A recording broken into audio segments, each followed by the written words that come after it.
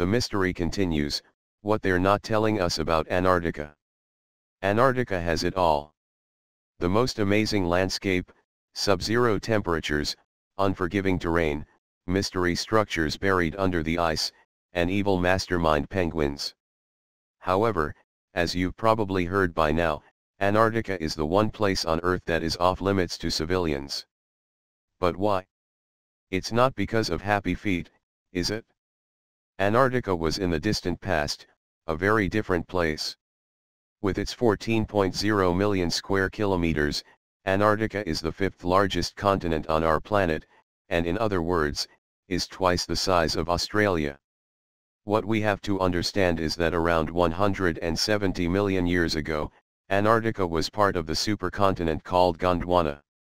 Around 25 million years ago, Antarctica as we know it, gradually broke apart from Gondwana.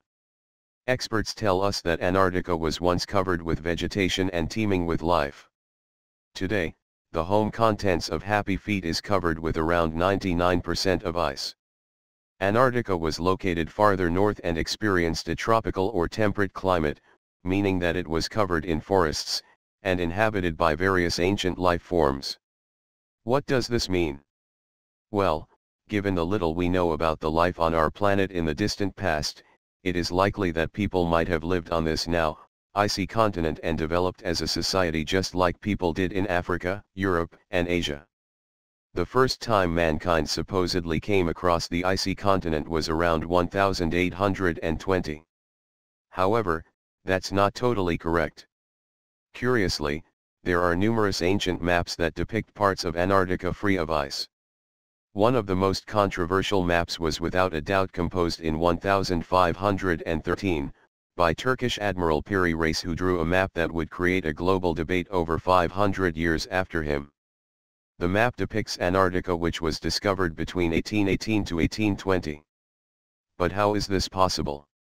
It has become a popular belief that ancient civilizations across the globe were in fact much more advanced than what mainstream researchers are crediting them for.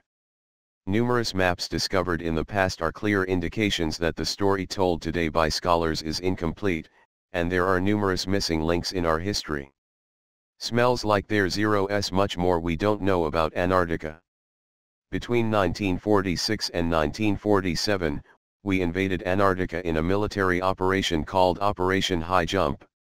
A very interesting documentary called Third Reich Operation UFO seems to question a lot of things regarding Antarctica and one of those things, that the documentary approaches, is whether there's a possibility that Antarctica might be home to numerous secret underground bases.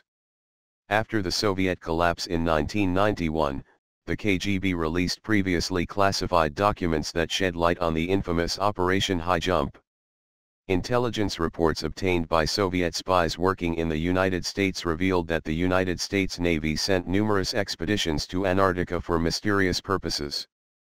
Operation High Jump, officially titled the United States Navy Antarctic Developments Program, 1946-1947, was a United States Navy operation organized by Rear Admiral Richard E. Byrd Jr., USN, RET, officer in charge, Task Force 68, and led by Rear Admiral Richard H. Cruzen, USN, Commanding Officer and Task Force 68. Operation High Jump commenced August 26, 1946 and ended in late February 1947. Task Force 68 included 4,700 men, 13 ships, and 33 aircraft. Even though the operation's primary mission was to establish the Antarctic research base Little America 4, some believe its true purpose is far more mysterious than any one of us can imagine. Basically, Operation High Jump was characterized by two things, it was fast and it was extremely secret. During Operation High Jump, Admiral Ramsey stated, the Chief of Naval Operations only will deal with other governmental agencies and that no diplomatic negotiations are required. No foreign observers will be accepted. It is believed that more than 70,000 aerial photographs were taken during an approximate 220 hours of flight time and it was all shrouded in secrecy. Several men had been reported as losing their lives in plane crashes. Interestingly, when Admiral Byrd got home he was summoned to Washington and interrogated by the security services before meeting with Secretary of Defense James Forrestal. Following, Admiral Byrd declared today that it was imperative for the United States to initiate immediate defense measures against hostile regions, reported the El Mercurio, a news outlet in Chile, on March 5, 1947. He made a staggering declaration, flying objects that fly from pole to pole with incredible speeds were the new threat. But who were the new enemies, given Germany had just suffered a defeating blow in the war? Some say it was the remnants of the German army and bases established in Antarctica. Others aren't so sure. Antarctica remains one of the most isolated and mysterious places on the surface of our planet. Government non-disclosure continues and will most likely continue in the future. Around 30 nations now operate research stations bases on the continent, and little information is given society about what exactly is going on there.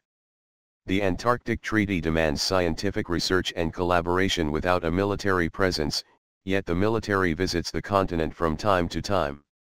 What is referred to as a truly shocking and astonishing video on extremely strange events in the Antarctic continent has recently been uploaded to YouTube causing a social network debate about Antarctica and what's really there.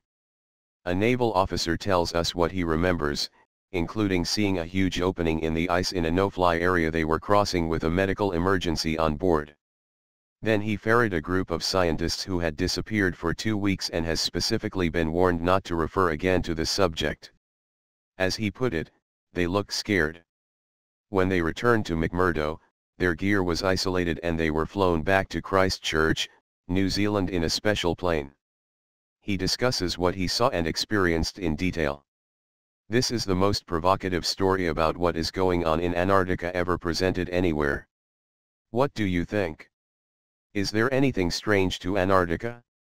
Is Antarctica just an isolated, frozen continent? Or is there perhaps more to it, as many conspiracy theorists and whistleblowers claim?